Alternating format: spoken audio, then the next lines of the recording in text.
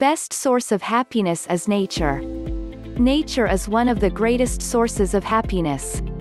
Humans had actually lived in the lap of nature for millions of years and their stay in contemporary cities is comparably extremely short. Still now majority of them resides in close distance to nature. In fact, human race depends on nature for its very survival. Plants recycle CO2 into oxygen, our food is an item of nature, and we can endure under an extremely minimal variety of variables of nature like temperature, and so on. Nature is all totally free. It is there for everyone to stare and stand and obtain happiness and solace from. It does not compare bad and abundant, strong and weak, males and female. Silvery sun is totally free, golden moon is totally free, cool breeze, warm seashore, enforcing mountains, smooth streaming rivers, dark and inviting forests, all are complimentary. It is totally free, not since it is cheap, however it is rather invaluable. Just how much would it cost to make only a synthetic island with rivers, forests, mountains, and surrounding ocean? Billion dollars, zillion dollars? Can one make it?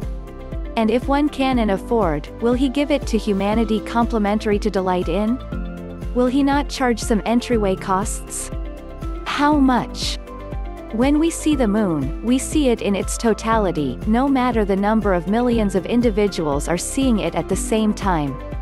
Has God made a different moon for each of us, or is it only one moon which each people somehow sees as his own private moon? And similarly, the sky, the sun, the ocean, sunlight and rain, all are there for us to have totally. Each can stare at the sky and claim all of it for his or her joy. It is all his or her. Nature comprehends your state of minds. If you are sad, it is likewise sad with you. It does not make you sadder. It does not lead you to more despair. It applies gentle balm to your wounds.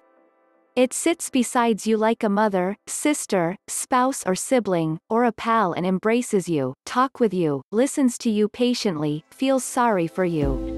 Gradually it raises your spirits, makes you to see your little concerns, worries, and wounds in the ideal point of view of unlimited time and area. You smile, you laugh, and you more than happy again. I am sure, you are keeping your cash in this bank and the bank balance provides pleasure and happiness. When this cash is lying idle or tied down in investments, even. In some cases it is cash just on paper, as, for example, the worth of bonds and shares. You withdraw the money and exchange it for some pleasure and joy when you require something. Well, all this is excellent.